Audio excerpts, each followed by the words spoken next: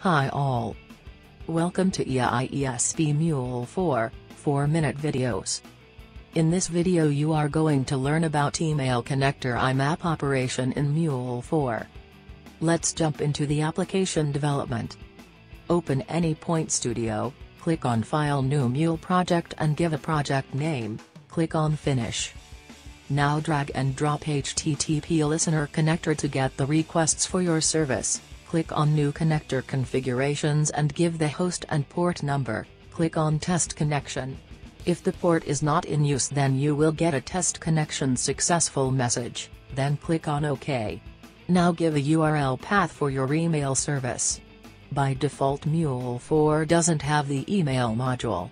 So, go to Mule palette and click on Add module. Select the email from Add Extensions then click on Finish.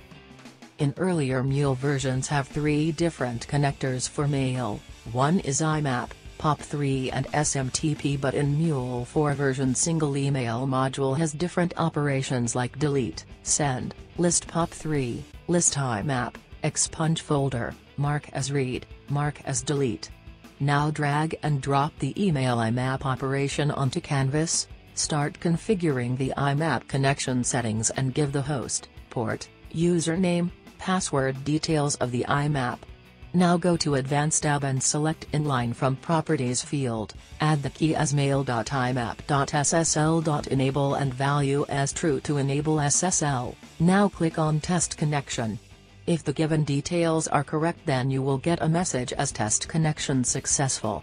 Now go to General tab, by default the mailbox folder field is set to inbox, choose the include from drop-down list of seen field to get the subjects of all the mails which are seen and select the answered, deleted, recent fields as exclude from the drop-down list.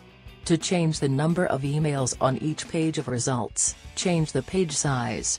Defaults to 10 emails per page. Now drag and drop the transform message into Canvas and replace the Java to JSON in output payload. Write the syntax for retrieving the subject data of the mail.